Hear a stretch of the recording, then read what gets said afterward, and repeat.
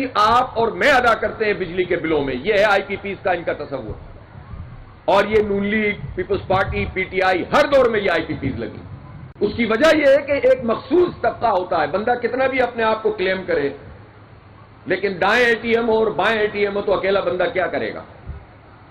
تو جب A T M پر انحصار ہوتا ہے پارٹیوں کا، پارٹیوں کو ڈیولپ نہیں کرتے، ان کی پراپر ممبرشپ نہیں ہوتی، ان میں لوگوں کو امپاور نہیں کرتے تو ایک مفاد پرست اور مرات یافتہ طبقہ ان پارٹیوں میں بھی ہجوم کر لیتا ہے۔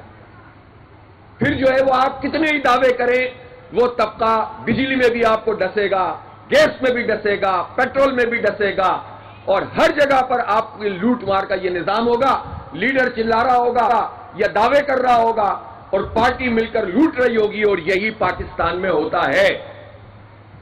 اس لیے ہمیں اپنی آنکھیں بھی کھولنے کی ضرورت ہے اور اپنا اپنی اپنی سوچ، اپنی فکر اور اپنے طرز سیاست ہر چیز کے اوپر غور کرنے کی ضرورت ہے۔ تو اس لیے جو پاکستان کے حالات ہیں، یہ جاہلوں نے نہیں کیے خراب۔ یہ ان پڑھے لکھے جاہلوں نے خراب کیے ہیں جو ہمارے سروں پہ مسلط ہیں۔ جب تک اس طبقے سے جان نہیں چھٹے گی، جب تک آپ اپنی منزل کو حاصل نہیں کر سکیں گے۔ اب ایک راستہ یہ کہ کچھ نہیں ہو سکتا۔ گھر بیٹھ جاؤ۔ ایک راستہ یہ ہے کہ نوجوان مایوس ہو جائیں۔ سیونٹی فور پرسینٹ نوجوان کہتے ہیں پاکستان میں نہیں رہنا۔ ایک راستہ یہ ہے کہ روزگار نہ ملے، ایجوکیشن نہ ملے، تو بڑی تعداد میں قوم کے وہ لوگ جو غریب ہیں، جو پاورٹی لائن سے نیچے زندگی گزار رہے ہیں، وہ نشے کے عادی بنے وہ مافیاز کا شکار ہو جائیں۔ اور اب یہ نشہ صرف غریب آبادیوں تک محدود نہیں رہا۔ یہ مڈل کلاس میں بھی آ گیا ہے یا اپر کلاس میں بھی آ گیا ہے۔ پاکستان کا کون سا تعلیمی ادارہ ایسا ہے جہاں منشیات نہیں بک رہی؟ مجھے بتائیے آپ۔ کون کر رہا ہے یہ کام؟ تھانوں کی مرضی کے بغیر یہ ہو سکتا ہے؟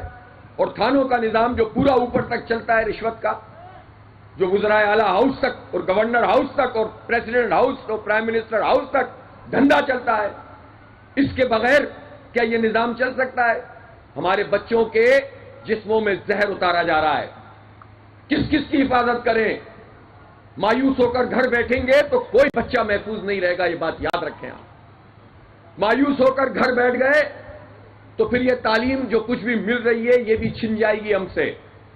اگر ہم گھر بیٹھ گئے تو یہ مزید بجلی مہنگی کریں گے، مزید گیس اور پھر خیرات دیں گے۔ خیرات دو مہینے چودہ روپے کم کر دیے، بادشاہ سلامت نے خیرات دی ہمیں یہ۔ او بھائی، ہمارا حق ہے۔ تم صرف اپنی شریف خاندان کی آئی پی پیز کی کیپیسٹی پیمنٹ کم کرو اور تمہارے قریب قریب کے جو منشا گروپ اور داؤد گروپ اور اس ٹائپ کے جو ہر حکومت میں اپنا حصہ لیتے ہیں، ان کی آئی پی پیز کی کیپیسٹی پیمنٹ بند کر دو صرف۔ تو پاکستان بھر کی بجلی کا ٹیرف آدھے سے بھی کم ہو جائے گا۔ لیکن آپ یہ کام نہیں کرو گے اور خیرات دو گے ہمیں۔ ہمیں خیرات نہیں چاہیے، حق چاہیے، حق۔ اور حق یہ ہے کہ یہ ظلم کا نظام ختم ہونا چاہیے۔ ان ظالم